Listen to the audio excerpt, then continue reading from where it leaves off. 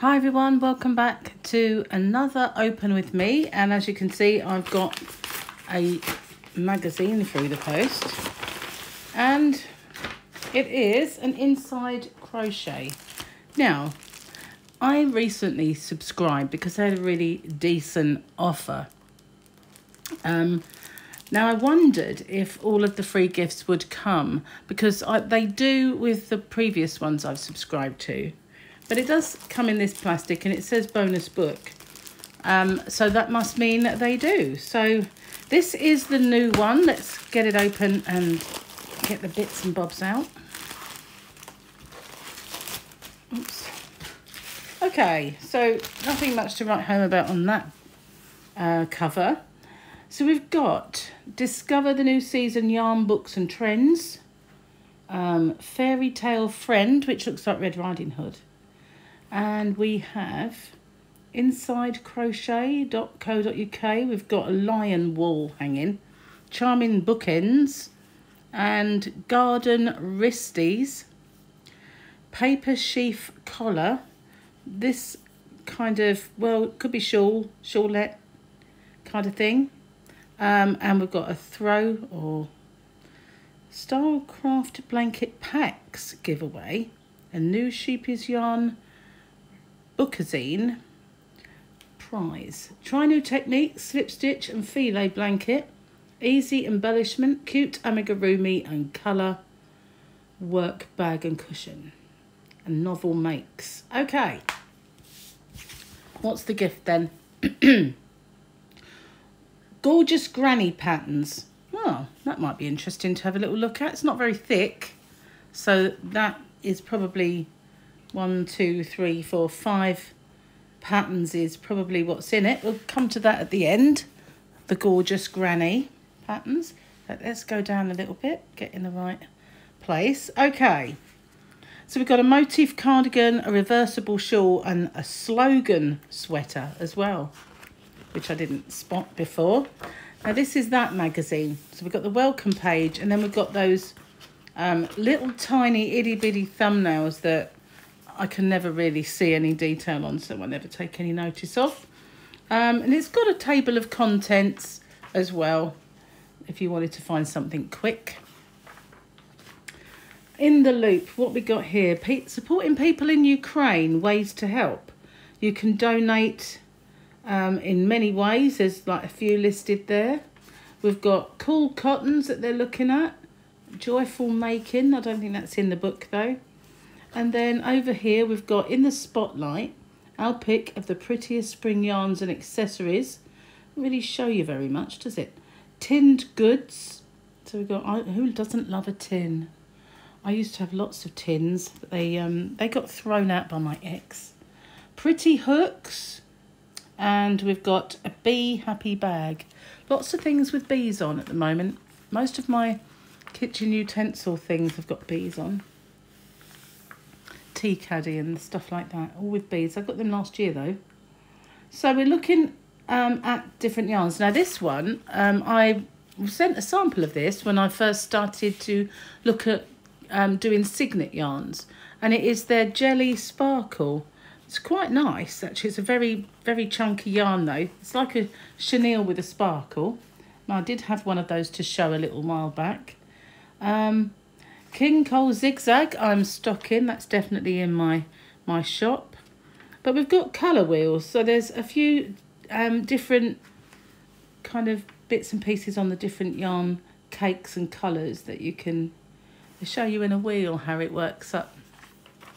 I normally do a swatch, not a wheel, but never mind. Now we've got Japanese omelette is the um, the recipe. They always have a recipe. So it's got cucumber, onions, uh, chili, lime, salt, eggs, soy sauce, Worcester sauce, rice wine vinegar, oyster sauce, corn flour, any favourite oil, and jasmine rice. Well, that's optional. I was looking to see if it was low carb enough for me, but, um, well, maybe later on. But then again, I'm not sure about omelettes. I remember once getting an omelette from a Chinese takeaway and Now my, my son Paul loves them and his other half, they love them. I think they're weird. But, you know, everybody's got different tastes, haven't they? So this is the Scheepjes Terrazzo, which I have been looking at stocking in my shop when it gets up and running. Books. Okay, crochet in a weekend. That's a boast, isn't it? So this book will get you crocheting in a weekend for eighteen ninety five. Crochet at work, fourteen ninety nine. Modern Girl's Guide to Granny Squares for ten ninety nine. Um, and Bonnie the Cow and Friends is twelve ninety nine. Right yo. Capturing the shades of the coast. Well, all I've got to do is look out the window. I'm quite lucky to live by the sea. Um, lots and lots of little bits and pieces of editorial eco yarns. I've got a few eco yarns in my shop, few recycled. I like to carry a few recycled. The story of your stash, using your stash and special skeins. Lots and lots of um, editorials in this one. Does that mean there's a lack of patterns? I wonder. Using your stash and special. I've read that once. Good grief. That's just an advert for a Stylecraft blanket that was in last week. And this is the Win the gorgeous, gorgeous yarn bundles. Win Stylecraft blanket packs and join Catherine Bly's stunning new Under the Sea crochet along. So this is the crochet along and you can win the yarn. Tells you how to do it on that page. Reading room. Now with these usually are the pictures of what's in here. I don't like the sleeves on that I'm afraid. Look at the... Oh, that would just wind me up considerably and so would they. Now, I've made quite a few pairs of uh, fingerless gloves in my time, but I've never thought to put flowers on them, but they're not, you know, you could just add any flowers to any gloves, couldn't you, really? It's not, you don't have to make those particular gloves, but you can just put some embellishments on. This is the collar. Well, kind of reminds me of Elizabethan times. So this is the book lover. Ah, the slogan sweater. But as you can see, it's row after row of possibly UK trebles or half trebles, which is a double and a half double. I'm not keen on it when it's like that. To me, it just looks like lots and lots of stripy crochet. I'm not really keen. If you had maybe that part where you could put the the motif in, but just put a few extra you know, bits of something else in. I'd prefer it. That's just my personal preference, though. I know everybody's different. So this is quite nice looking. It is one that's pointy, though. And we've got a very abstract bag. I still must finish my bag. Seriously. Now, that looks quite nice. That's more a pullover that I don't mind because the sleeves are not horrendously baggy. And it has a little bit of thing to break up the monotony of the row after row of, you know, I've said it before so many times. Rickarumical Beach Party. Try saying that when you've um, had a couple of shandies. Honestly. So that looks kind of interesting. Join the beach party and crochet six super colourful Ricorumi characters from the 26th of March. And for the following six weeks, we will launch a brand new free Ricorumi figure available from our Rico Designs website. So I like Rico Designs. I've used their yarn a lot. So this is the um, wall hanging. I think that'll look nice as a cushion, actually, but it's a wall hanging. Now that is pretty. Now this is that planned pooling, isn't it? Um, I did do it once. Had a little go. Thought that looked really nice. Didn't go back to it and there we got a a cushion with a bit of a slogan on, bookish. This is all about reading, isn't it? Getting your reading area nice and cosy. I'm not quite sure what that's all about. We'll, we'll find out, no doubt. And we've got a spaceman, wow. spaceman. And we've got a Red Riding Hood and lots of little amigurumis. Story time finger puppets they are. Story time finger puppets. Uh, oh, now I thought that's kind of unusual. Be nice for a child, wouldn't it? Little teddy bear in your hair and a dolly. Okay, so this is digital subscription. Start from as little as nineteen ninety nine for six months. Obviously, unless it's a booklet, you might not get the free gift. I don't even know if you get it if it's a booklet. These are the makes. Again, the thumbnails are too small, so let's carry on. The Bronte cardigan. Actually, it's quite nice. The actual, it's got a lacy bit at the bottom. And I can see why then, with the lacy bit at the bottom of the sleeve. I can see that. And it's not all the way to the bottom. So it's not as bad. For me, I couldn't do that if this was down to my my wrist. Um, I don't. I've never been one to wear puff sleeves or bell kind of sleeves. You know those scallopy ones. Can't do it. Um, if I'm wearing anything long sleeved at all, it has to be very very thin and kind of finish at my wrist and not go baggy. Um, but I prefer three quarter length sleeves. I'm just never been cold blooded enough to actually want to wear a pullover. Um, don't matter what time of year it is. And now I like the back though. I like the fact that it's V back. That's actually pretty, isn't it? I like that. That's nice. Well, they redeem themselves. So there's all the dimensions and the charts and everything else to make that. And we've got loopknitting.com. Not very loopy, is it? Oh, here we got the book loves or book lover, should I say, book lover, the pullover. Now those would drive me crazy. They go down far too low. But, you know, if you're making it, you don't have to do that, do you? But you should have a nice chart for the words. There they are. So that's pretty cool. You could always do that on a cushion if you wanted to. And this is the Cozy Nook cardigan. Hmm. Okay, so I'd leave out one of those squares and then that would be a bit tighter, wouldn't it? Maybe I'd leave that too. If you look at it, if, if your my arms were as thin as hers, perhaps. But it's just basically different kind of coloured granny squares. And this is all the charts and the putting together chart and the sizing. Okay, Secret Garden wrist warmers. Okay, so they're plain and they've got this lacy kind of, excuse me, scallopy edge to them. And then they're very romantic, if you know what I mean. If you get my drift. I don't mean romantic in the sense of anything other than, you know, like bookish, roman romantic period sort of thing.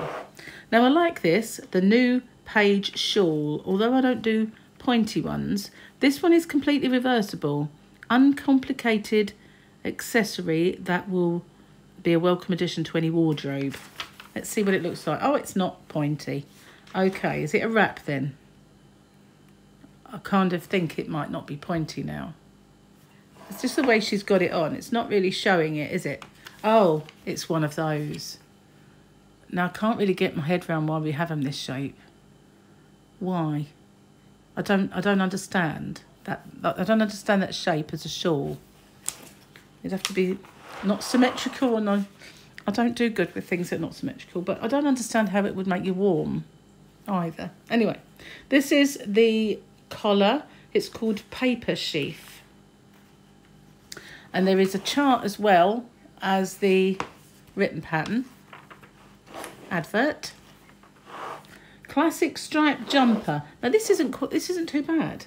As I said before, it breaks up the monotony of the row after row of the same stitch. I like the little stripe in.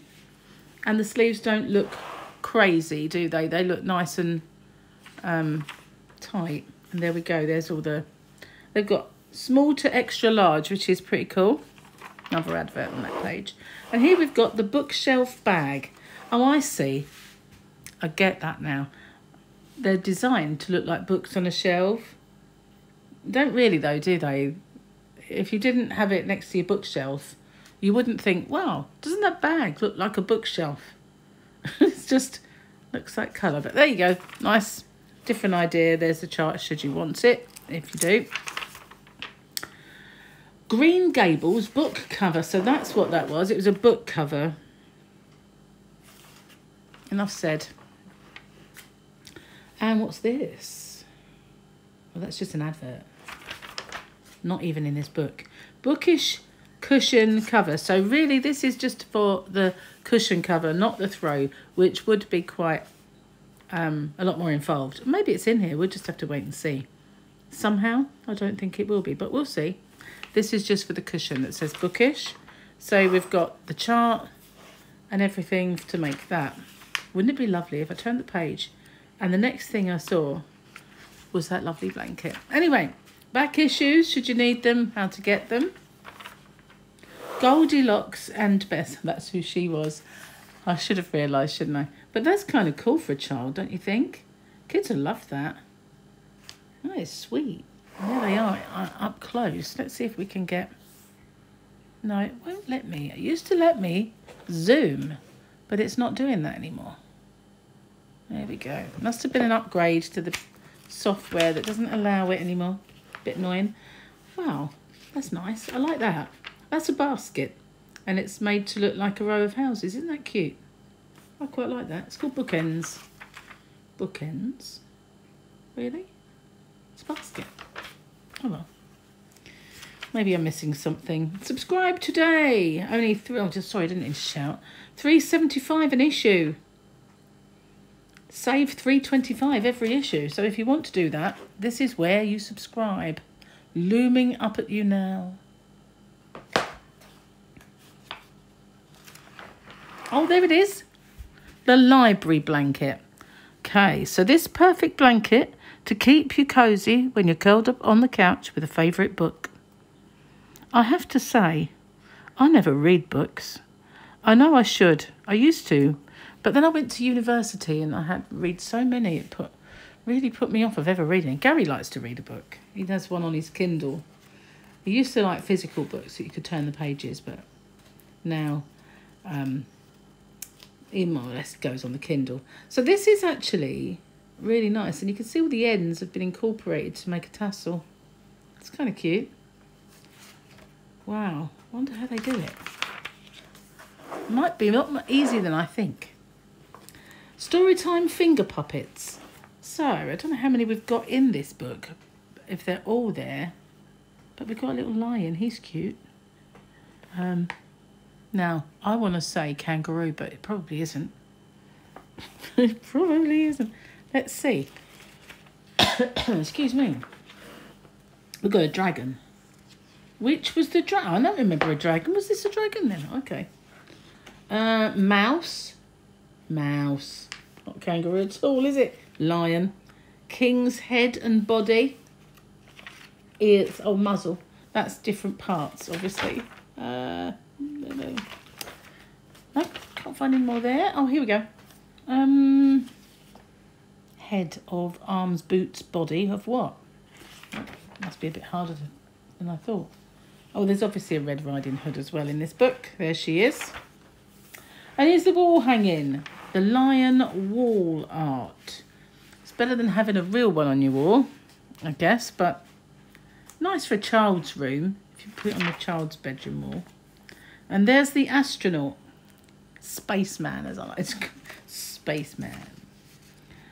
This sweet astronaut is reaching for the stars, about to arrive on the ISS to carry out an important scientific research.